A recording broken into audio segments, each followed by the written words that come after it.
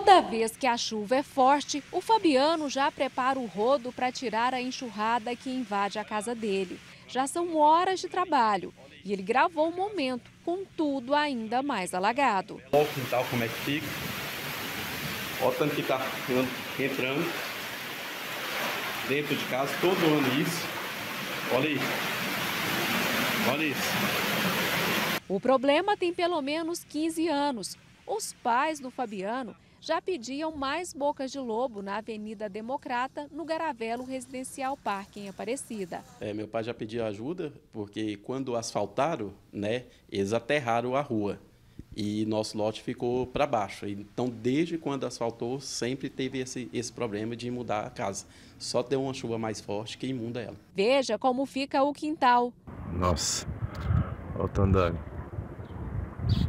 Foram cerca de três horas para a água escoar do quintal da casa do Fabiano. Mesmo assim, foi preciso abrir esse portãozinho que dá acesso a um lote. Ele tem medo, quando ameaça chuva, de não dar tempo de chegar em casa e que a enxurrada venha tão forte a ponto de derrubar paredes e até mesmo os muros. É, a água desce toda do Buriti Sereno e encontra bem na porta da minha casa, né, que são duas ruas que, que encontra aqui, que é a República com a 8D e passa por cima do bueiro. Então o bueiro não comporta e entra dentro do meu portão e entra dentro da minha casa todinha. Neste outro vídeo é possível ver o tanto de água acumulada nas ruas do setor Buriti Sereno, que atinge tanto a Avenida Democrata quanto a Avenida República no setor Garavelo Residencial Parque. Esse aguaceiro todo invadiu também a marcenaria do Márcio. Dentro das máquinas, olha aqui, a perda do material todinho aí, na parede. Tudo dentro d'água. Olha a marcenaria dentro d'água. Prejuízo ali hoje calcula em mais de 10 mil reais de material com nota fiscal para comprovar.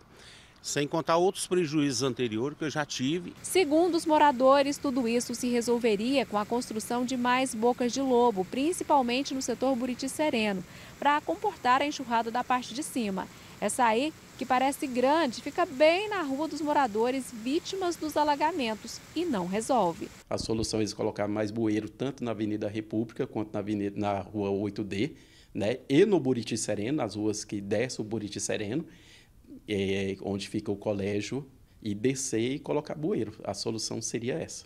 E pedir encarecidamente um pouquinho de atenção aqui para a Avenida Democratas. Eu, não, eu acredito que para o poder público é muito irrisório, mas para nós que sofre aqui, que passa por isso todo ano, tá sem condições.